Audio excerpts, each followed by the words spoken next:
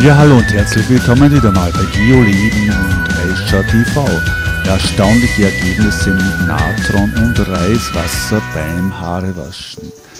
Ja, was nehmen wir als erstes? Zwei bis drei Teelöffel Natron in einem kleinen Behältnis mit etwas warmem Wasser und das klarerweise schön in die Kopfhaut einmassieren. Das Ganze bleibt dann circa so 5 bis 10 Minuten am Kopf, also einwirken lassen und dann natürlich mit klarem Wasser auswaschen. Natron ist ja basisch und wirkt natürlich wunderbar auf die Kopfhaut und auf die Haare. Und als nächstes haben wir quasi als Conditioner das Reiswasser. Mit dem spülen wir die Haare schön durch. Wer mehr über das Reiswasser wissen möchte, schaut doch einfach auf mein Video über Reiswasser. Also hier einige Male mit Reiswasser die Haare schön einsp einspülen oder einmassieren und auch dann wieder circa 5 Minuten schön ein, einwirken lassen.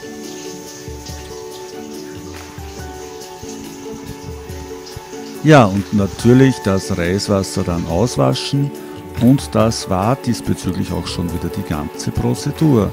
Und hier sehen wir noch, was wir alles brauchen für das Reiswasser vor allem. Hier ca. 700 Liter, ja genau 700 Milliliter Wasser, einen halben, einen halben Kaffeebecher Bio-Vollkornreis und das Ganze zum Kochen bringen und dann circa 20 Minuten schön durchköcheln.